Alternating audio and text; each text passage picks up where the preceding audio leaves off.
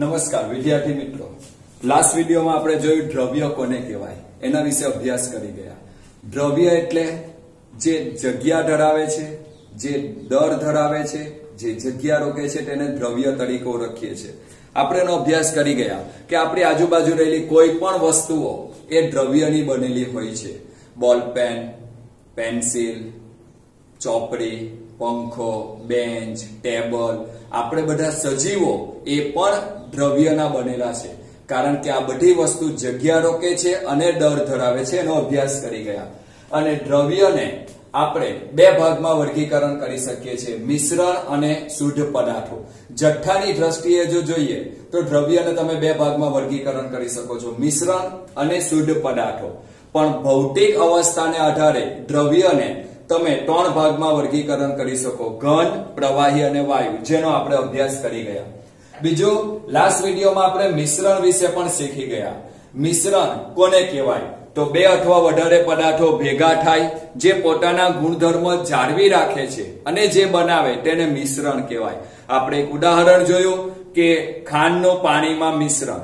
તો એક ગ્લાસ ભરીને પાણી લઈએ, એની અંદર ખાંડ ઓગાળવામાં આવે, તો ખાંડ એમાં ઓગળી જાય છે ખરું. પણ ખાંડ પોતાના ગુણધર્મ ગુમાવતું નથી. એ પાણી આપણને મીઠું લાગે. જે પોતાના ગુણધર્મ જાળવી રાખે અને બનાવે, તેને મિશ્રણ કહેવામાં આવે છે, વિદ્યાર્થી મિત્રો. અને એ મિશ્રણને આપણે બે ભાગમાં વર્ગીકરણ કરી ગયા. સમાંગ મિશ્રણ અને વિસમાંગ મિશ્રણ. સમાંગ મિશ્રણની ડેફિનેશન આપું જે આપણે લાસ્ટ વિડીયોમાં શીખી ગયા. કે જેને ચોક્કસ હદ રેખાથી અલગ કરી શકાતા નથી. જે બે પદાર્થો એકબીજામાં હરીભરી જાય છે. મિશ્રણ થઈ જાય છે. જેને ચોક્કસ હદ રેખાથી અલગ જોઈ શકાતું નથી. તેને સમાંગ મિશ્રણ કહેવાય. હું તમને એક ઉદાહરણ આપું. દૂધની અંદર પાણી ભેગું કરી દેવું. તે કયું મિશ્રણ? સમાંગ મિશ્રણ. કારણ કે દૂધ અને પાણીને તમે અલગ જોઈ શકતા નથી. એને આપણે સમાંગ મિશ્રણ કહેવાય. જે આખા પાત્રમાં બધી જગ્યાએ ફેલાઈ જાય છે. તેને સમાંગ મિશ્રણ કહીશું. અને વિસમાંગ મિશ્રણ કે જેને ચોક્કસ હદ રેખાથી આપણે અલગ જોઈ શકીએ છીએ. દાખલા તરીકે, ચોખાની અંદર રેતીના કણો પડી જાય, ચોખાની અંદર માટીના કણો પડી જાય, તો એ બંને ભેગા થઈ ગયા, પણ એમની ચોક્કસ હદ રેખાથી આપણે અલગ કરી શકીએ છીએ, જેને વિસમાંગ મિશ્રણ કહેવાય. અને પણ ચોખા એ પોતાના ગુણધર્મ જાળવી રાખે, રેતી પોતાના ગુણધર્મ જાળવી રાખે. એક જ શબ્દમાં જો બોલીએ, તો બે અથવા વધારે પદાર્થો ભેગા થાય જે પોતાના ગુણધર્મ જાળવી રાખે અને પછી જે બનાવે તેને મિશ્રણ કહેવાય. ચોક્કસ હદ રેખાથી અલગ કરી શકાતા નથી, જોઈ શકાતા નથી. તેને સમાંગ મિશ્રણ અને જેને ચોક્કસ હદ રેખાથી અલગ કરી શકાય છે, જોઈ શકાય છે, તેને વિસમાંગ મિશ્રણ કહેવાય. વિદ્યાર્થી મિત્રો લાસ્ટ વિડીયોમાં આપણે આટલો અભ્યાસ કરી ગયા હતા. મિશ્રણ સમાંગ મિશ્રણ અને વિસમાંગ મિશ્રણ. હવે આપણે આગળના વિડીયોમાં શુદ્ધ પદાર્થો વિશે શીખવું છે. શુદ્ધ પદાર્થો કોને કહેવાય? તો શુદ્ધ પદાર્થો એ મિશ્રણથી જુદા પડે છે. અત્યારે મિશ્રણમાં આપણે જોયું કે બે અથવા વધારે ઘટકો ભેગા થાય જે પોતાના ગુણધર્મ જાળવી રાખે. તેને મિશ્રણ કહેવાય. પણ શુદ્ધ પદાર્થોમાં ઘટકોનું નિશ્ચિત પ્રમાણ હોય છે. શુદ્ધ પદાર્થોમાં ઘટકોનું બંધારણ નિશ્ચિત હોય છે. અહીં આપણે જોઈ શકીએ કે શુદ્ધ પદાર્થો એ મિશ્રણ કરતા જુદા પડે. આ શુદ્ધ પદાર્થો આ મિશ્રણથી ગુણધર્મની બાબતમાં જુદા પડે. કઈ રીતે? તો શુદ્ધ પદાર્થોનું સંગઠન નિશ્ચિત હોય છે. વિદ્યાર્થી મિત્રો, સંગઠન એટલે શું? તો તેમાં રહેલા ઘટક તત્વોનું પ્રમાણ નિશ્ચિત હોય છે. દાખલા તરીકે, શુદ્ધ પાણી બોલો. તો શુદ્ધ પાણી એ શુદ્ધ શબ્દ એટલા માટે વપરાયો કે દુનિયાના કોઈ બી ખૂણામાં જાઓ, જ્યારે પાણી બોલો એટલે એમાં બે જ હાઇડ્રોજનના પરમાણુ અને એક જ ઓક્સિજનનો પરમાણુ હોય છે. આથી શુદ્ધ પદાર્થોમાં ઘટકોનું સંગઠન એટલે કે એમાં પ્રમાણ એની ચોક્કસ જથ્થો નિશ્ચિત હોય છે. મિશ્રણમાં આવું થતું નથી. દાખલા તરીકે, ખાંડનું પાણીમાં મિશ્રણ બનાવ, તો હું એક મિશ્રણ બનાવ, એક લીટર પાણી લીધું અને એની અંદર પાંચ ચમચી ખાંડ ઓગાળી. તો હું બોલીશ, ખાંડનું દ્રાવણ મેં બનાવ્યું. હવે તમે બનાવો. તમે એક લીટરને બદલે પાંચસો એમએલ પાણી લીધું અને તમે એમાં પાંચ ચમચી ને બદલે ત્રણ ચમચી ખાંડ નાખી. તો તમે પણ એને એમ જ બોલશો, ખાંડનું પાણીમાં મિશ્રણ. હું પણ એમ જ બોલીશ, ખાંડનું પાણીમાં મિશ્રણ. પણ બંનેના ઘટકોનું પ્રમાણ જુદું જુદું હોય છે. જેમાં ઘટકોનું પ્રમાણ જુદું જુદું હોય, તેનું નામ મિશ્રણ. મિશ્રણમાં ઘટકો ચોક્કસ પ્રમાણમાં જોડાયેલા નથી. જ્યારે શુદ્ધ પદાર્થોમાં ઘટકો ચોક્કસ પ્રમાણમાં જોડાયેલા હોય છે, તેથી શુદ્ધ પદાર્થો એ મિશ્રણ કરતા અલગ પડે છે. શુદ્ધ પદાર્થોનું સંગઠન નિશ્ચિત હોય છે. જ્યારે મિશ્રણમાં ઘટકો ગમે તે પ્રમાણમાં જોડાયેલા હોય છે. એટલે કે તેનું સંગઠન બદલાયા કરે છે. મેં તમને ઉદાહરણ આપ્યું. તમે પણ ખાંડનું પાણીમાં મિશ્રણ બનાવ્યું. મેં પણ ખાંડનું પાણીમાં મિશ્રણ બનાવ્યું. પણ વિદ્યાર્થી મિત્રો, એમાં ઘટકોનું પ્રમાણ તમે બદલી નાખ્યું. મેં પણ બદલી નાખ્યું. તમે પાંચસો એમએલ પાણી લીધું. એમાં ત્રણ ચમચી ખાંડ ઓગાળી.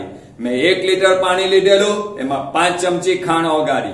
બંને આપણે બોલીશું ખાંડનું પાણીમાં મિશ્રણ. પણ બંને ઘટકોનું પ્રમાણ બદલી નાખ્યું. એટલે મિશ્રણમાં ઘટકો પોતાના ગુણધર્મ જાળવી રાખે છે. પણ એનું પ્રમાણ નિશ્ચિત હોતું નથી, બદલાયા કરે છે.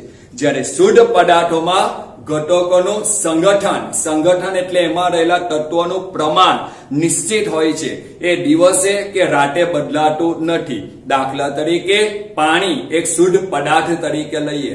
તો ગમે ત્યારે વરસાદનું પાણી લેવું, નદીનું પાણી લેવામાં આવે, સરોવરનું પાણી લેવામાં આવે, તો પણ એમાં હાઇડ્રોજનના બે જ પરમાણુ, ઓક્સિજનનો એક જ પરમાણુ જોડાયેલો હોય. આથી જે પદાર્થની આગળ શુદ્ધ શબ્દ લાગે, એટલે એ પદાર્થમાં ઘટકોનું પ્રમાણ, જેને એક શબ્દ આપણે બોલીએ છીએ સંગઠન સંગઠન એ નિશ્ચિત હોય છે બદલાતું હોતું નથી. તો માનું શુદ્ધ પદાર્થ કોને કહેવાય? એના ઉદાહરણ આપો વિદ્યાર્થી મિત્રો. કોપર સિલ્વર ગોલ્ડ પાણી ગ્લુકોઝ વગેરે શુદ્ધ પદાર્થોના ઉદાહરણ છે. તમે કોપર બોલો તો બધા કોપરના જ પરમાણુ. સિલ્વર બોલો તો બધા સિલ્વરના જ પરમાણુ. ગોલ્ડ બોલો તો એમાં બધા ગોલ્ડના જ પરમાણુ. પાણી તો શુદ્ધ પાણીમાં બધા પાણીના જ અણુઓ હોય. ગ્લુકોઝ તેમાં બધા ગ્લુકોઝના જ અણુ હોય છે. આ બધા શુદ્ધ પદાર્થોના ઉદાહરણ છે. એક સમજીએ. દાખલા તરીકે ગ્લુકોઝ એનું અણુસૂત્ર આપણને ખ્યાલ છે. દસમામાં આવી ગયું. વિદ્યાર્થી મિત્રો C6 H12O6 ગ્લુકોઝનું અણુસૂત્ર. હવે આ એક શુદ્ધ પદાર્થ છે. ગ્લુકોઝને હું શુદ્ધ પદાર્થ તરીકે બોલું તો મારા મગજમાં તરત ક્લિયર થઈ જવું જોઈએ કે એમાં રહેલા ઘટકોનું પ્રમાણ નિશ્ચિત હોવું જોઈએ, જે બદલાશે નહીં. તો ગ્લુકોઝમાં કયા કયા પરમાણુ છે? તો ગ્લુકોઝમાં એક કાર્બન છે, એક હાઇડ્રોજન અને એક ઓક્સિજન નિશ્ચિત પ્રમાણમાં જોડાયેલા છે. અને આ ત્રણ તત્વો નિશ્ચિત પ્રમાણમાં જોડાય તો જ આપણને એનું અણુસૂત્ર મળે. ગ્લુકોઝમાં કાર્બનના છ પરમાણુ જોડાયેલા છે, હાઇડ્રોજનના બાર પરમાણુ જોડાયેલા છે, ઓક્સિજનના છ પરમાણુ જોડાયેલા છે. આથી ગ્લુકોઝ એક શુદ્ધ પદાર્થ બન્યો. તેમાં ઘટકોનું પ્રમાણ નિશ્ચિત પ્રમાણમાં ઘટકો આવેલા હોય છે. તમે કોઈ બી રીતે ગ્લુકોઝ બનાવો, વનસ્પતિમાંથી બનાવો, લેબોરેટરીમાં ગ્લુકોઝ બનાવો, તમે જ્યારે પણ શુદ્ધ ગ્લુકોઝ બોલો, એટલે આંખ મીચીને તમારે જાણી લેવાનું, સમજી લેવાનું કે એમાં કાર્બનના છ પરમાણુ, હાઇડ્રોજનના બાર પરમાણુ, ઓક્સિજનના છ પરમાણુ આવેલા હોય છે. વિદ્યાર્થી મિત્રો, શુદ્ધ પદાર્થ અને મિશ્રણ વચ્ચેનો ડિફરન્સ તમને ખ્યાલ આવી ગયેલો હોવો જોઈએ. મિશ્રણમાં ઘટકો પોતાના ગુણધર્મ જાળવી રાખે છે. તેમાં ઘટકોનું પ્રમાણ નિશ્ચિત હોતું નથી, સંગઠન નિશ્ચિત ન હોય, બદલાયા કરે. ખાંડનું પાણીમાં મિશ્રણ આપણે ઉદાહરણ યાદ રાખવાનું. શુદ્ધ પદાર્થોમાં ઘટકો નિશ્ચિત પ્રમાણમાં જોડાયેલા હોય છે. એનું સંગઠન બદલાતું નથી, ચોક્કસ હોય છે. આ બે વચ્ચેનો ડિફરન્સ થયો. હવે બીજું જોઈએ. અન્ય શુદ્ધ પદાર્થોની જેમ નિશ્ચિત સંગઠન ધરાવે છે. ધેટ ઇઝ ગ્લુકોઝ તો ગ્લુકોઝમાં કાર્બન, હાઇડ્રોજન, ઓક્સિજન એ નિશ્ચિત પ્રમાણમાં જોડાયેલા છે. તેમાં દરેક ઘટકો નું સંગઠન કેવું હોય છે? નિશ્ચિત. આ એક શબ્દ પર ફરી પાછો હું જાઉં. સંગઠન એટલે પદાર્થમાં રહેલા ઘટક તત્વોનું પ્રમાણ.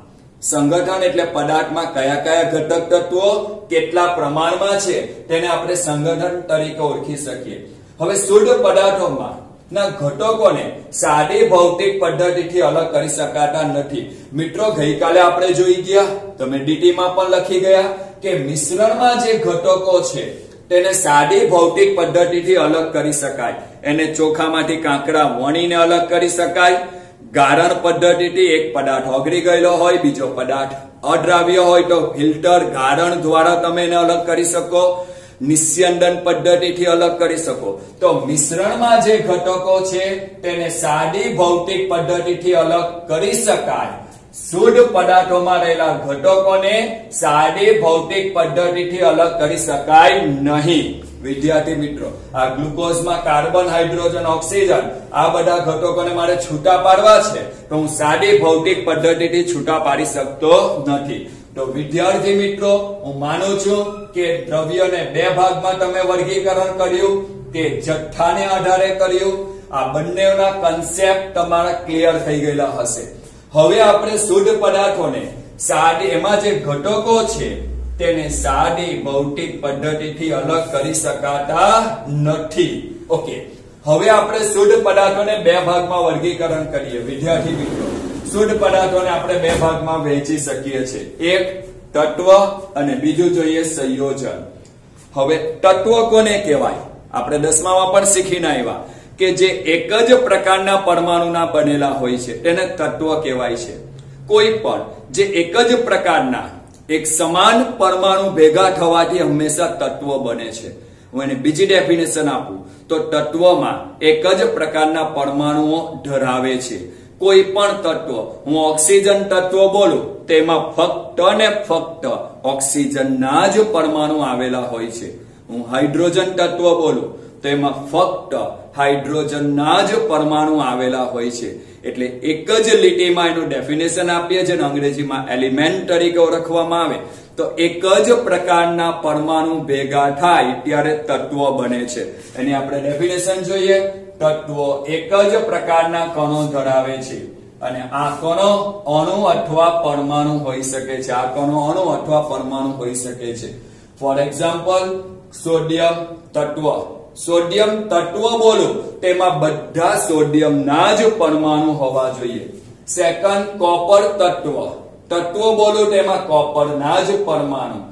સિલ્વર જેને ગુજરાતીમાં ચાંદી કહેવાય તો એમાં ફક્ત સિલ્વરના જ પરમાણુ છે. અહીં હું તત્વ બોલીશ, પણ અહીં પરમાણુ નહીં બોલું. હું અહીં અણુ શબ્દનો ઉપયોગ કરીશ. હાઇડ્રોજન અણુ બોલું છું. જો તમે શબ્દ અહીં સોડિયમ પરમાણુ કોપર પરમાણુ, સિલ્વર પરમાણુ. અહીં હાઇડ્રોજન પરમાણુ ન બોલ્યો હાઇડ્રોજન અણુ બોલ્યો પણ વિદ્યાર્થી મિત્રો, તમે નોંધો, હું હાઇડ્રોજન અણુ બોલું છું, પણ એમાં છે તો હાઇડ્રોજનના જ પરમાણુ. આથી હું એને કહીશ તત્વ. તત્વ કોને કહેવાય? એક જ પ્રકારના પરમાણુ ભેગા થયેલા હોય, એને તત્વ.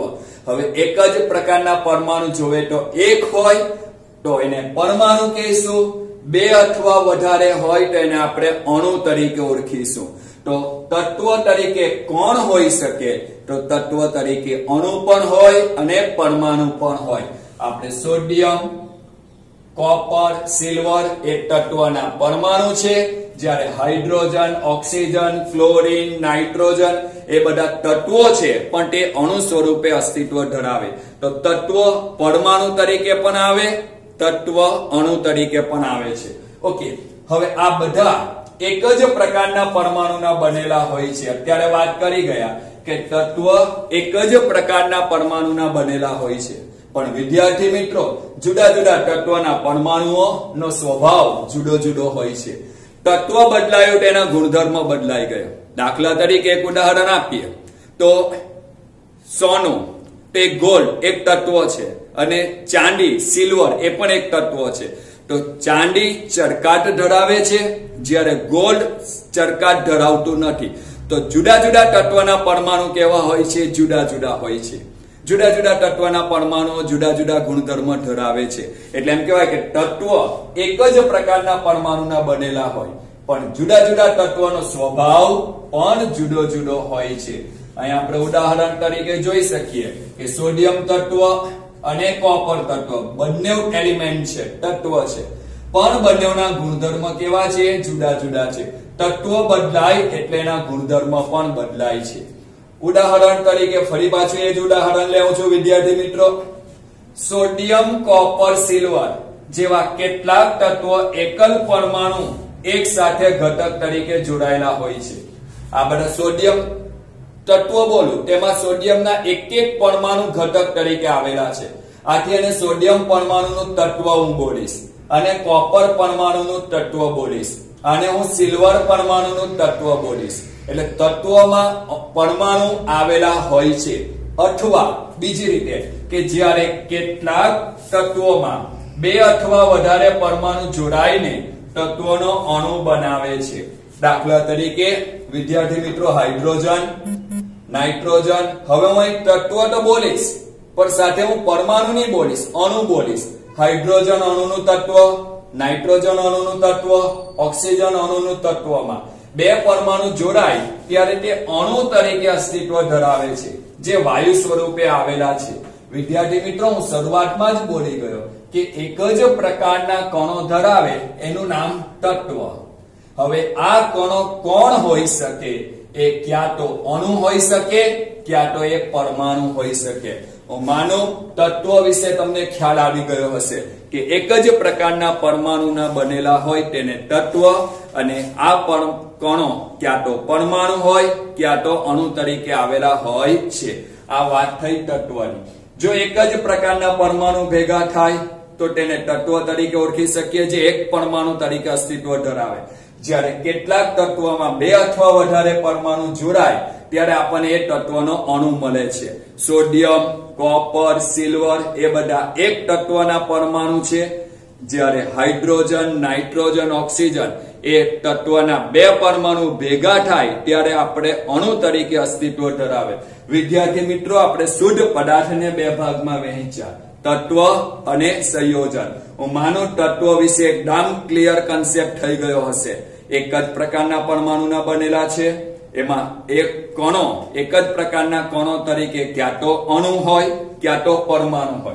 હવે વિદ્યાર્થી મિત્રો, આપણે સંયોજન વિશે અભ્યાસ કરવો છે. સંયોજન કોને કહેવામાં આવે? સંયોજન એટલે શું? તો સંયોજનની ડેફિનેશન શું? જ્યારે જુદા જુદા તત્વોના બે અથવા વધારે પરમાણુ સંયોજાય, ત્યારે સંયોજનનો અણુ બનાવે છે. જ્યારે જુદા જુદા તત્વના, બે અથવા વધારે પરમાણુ ભેગા થાય, ત્યારે આપણને સંયોજનનો અણુ મળે છે. આપણને એની ડેફિનેશન જોઈએ. જ્યારે જુદા જુદા તત્વના બે કે વધુ પરમાણુઓ સંયોજાય છે, ત્યારે સંયોજનનો આપણને શું મળે છે? અણુ પ્રાપ્ત થાય છે. વિદ્યાર્થી મિત્રો, બે અથવા વધારે તત્વના પરમાણુ ભેગા થાય, ત્યારે સંયોજન બને છે. મિત્રો, હવે આને મિશ્રણ સાથે કમ્પેર કરીએ. તો મિશ્રણ અને સંયોજનમાં ફેર શું? તો એક જ વસ્તુનો ફેર છે. મિશ્રણમાં પણ બે અથવા વધારે તત્વના પરમાણુ ભેગા થાય તેને મિશ્રણ કહેવાય. સંયોજનમાં પણ બે અથવા વધારે તત્વના પરમાણુ ભેગા થાય તો સંયોજન કહેવાય. તો આ બે વચ્ચેનો ડિફરન્સ હું તમને આપું. મિશ્રણમાં બે અથવા વધારે તત્વના પરમાણુ પોતાના ગુણધર્મ જાળવીને જે બનાવે તે મિશ્રણ. ખાંડને પાણીમાં ઓગાળો. તો ખાંડ ઓગળી ગઈ. ખાંડનું દ્રાવણ બન્યું. એ પાણીમાં ખાંડ ઓગળી ગયા પછી ખાંડ પોતાના ગુણધર્મ જાળવી રાખે છે. એ પાણી આપણે મીઠું લાગે છે, સ્વીટ લાગે છે. જ્યારે સંયોજનમાં શું થાય કે બે અથવા વધારે તત્વના પરમાણુ ભેગા થાય, જે પોતાના ગુણધર્મ ગુમાવીને જે બનાવે, એનું નામ સંયોજન.